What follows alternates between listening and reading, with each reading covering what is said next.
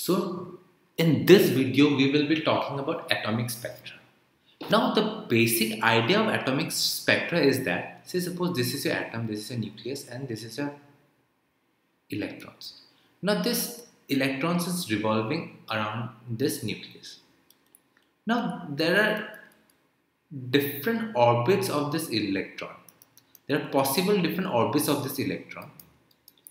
Now sometimes what happens is that because if we supply energy, if we supply energy, if we supply energy, this electron gets excited. Excitation occurs.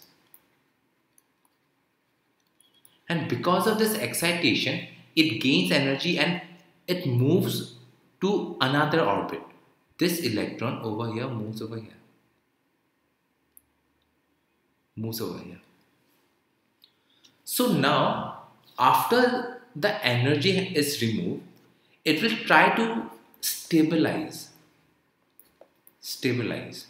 It, it will try to stabilize itself by releasing energy. This is by releasing energy. By releasing energy.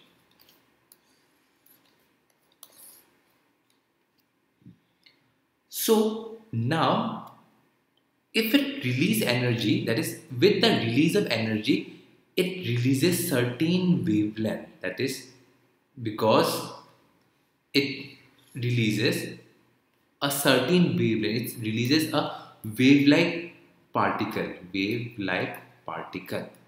Wave-like particle.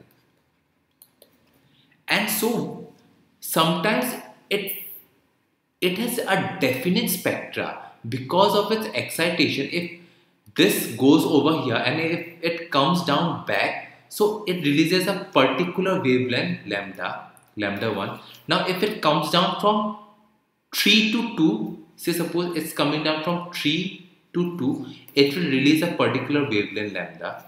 If it comes down from 5 to 2 say suppose 5 to 2 from its orbit 5 directly to 2 it will release another kind of wavelength that is lambda 1.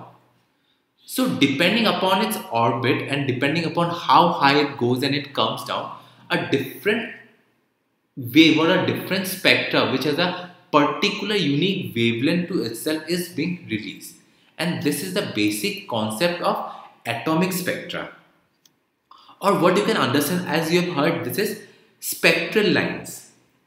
Now, the, it was first discovered by Jacob Balmer and the Balmer series is given by 1 by lambda which is the wavelength is actually equal to r into 1 by 2 square minus 1 by n square. So this is the basic formula. The wavelength, anything which comes to the second orbit, anything which comes to the second orbit, we have termed this as Balmer series. And now, this is your wavelength. We know this is your wavelength. Let me name this. This is your wavelength. And this is your orbit, where n can be from 3, 4, anything. So now what is r? Now r is actually a constant, but what is this constant? Now this constant r is known as Rydberg's constant let me write this. This constant is known RYT Rydberg's constant.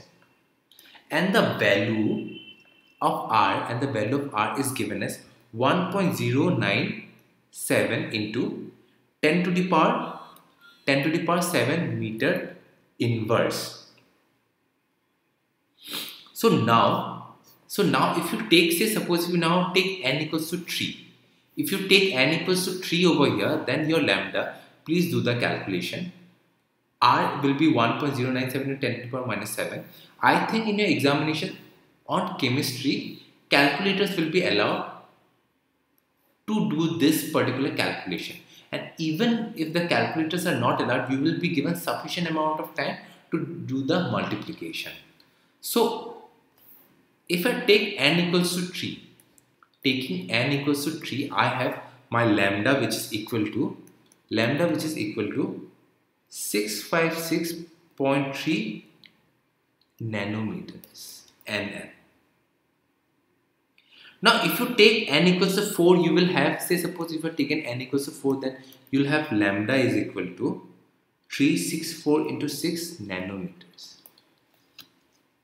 So, slowly and steadily, what you will see is the higher the energy difference, the smaller is your wavelength. We know energy equals to h nu. Therefore, energy is equal to h upon lambda. So h upon lambda, if you say nu equals to lambda, which is inverse of lambda, then you can say that higher the energy, less is your lambda and higher the wavelength, less is your energy and that can be easily proved. If from a greater orbit, from a greater orbit, say from orbit 5 it comes down to orbit 2, high amount of energy is released. So the lambda will be less. Now, the first series, or you can say the Balmer's formula, is given by over here. Now, in the later part, different scientists discovered different lines and they named them after their names. So, let's look at some of the other spectral lines in our atomic spectra. So we talked about Balmer series where the excited electrons comes from n equals to say some orbit which is greater than 3, 4, 5 to n equals to 2. Now, Lyman, the scientist Lyman, what he did was he he had the series for ultraviolet and his series was given as 1 by lambda equals to r upon 1 by 1 square minus 1 upon n square where n equals to 2, 3, 4 and this was for Lyman. This is known as, sorry, I'm writing this spelling a bit incorrect. This is Lyman or Lyman, anything that you want to call. Lyman's series, Lyman series. The second was Balmer that we had already discussed. Now comes your Paschen series. P-A-S-C-H-E-N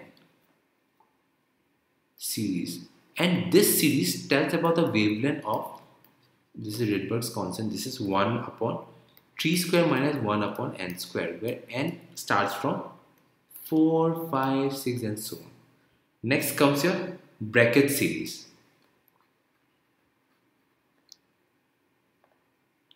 this is Brackett series.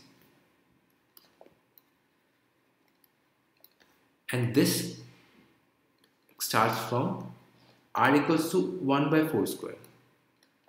Uh, 1 by n square. And next comes your series. Pfund series so Pfund series now this p is silent so Pfund series is given by 1 by r into 1 by 5 square minus 1 by n square. Now this is for n equals to 5, 6, 7 here n equals to 6, 7 and so. on. So these are some of the known series that we know or some of the famous series that we know. Now it is also interesting to see that we had right, we had given a previous that energy equals to h nu Therefore, E equals to H. Now, C equals to lambda into nu.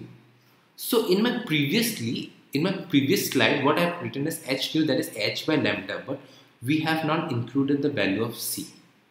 Now, E is directly proportional to H upon lambda, where E is inversely proportional to 1 upon lambda.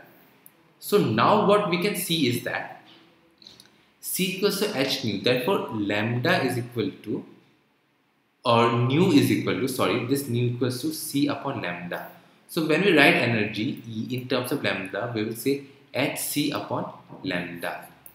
This is what we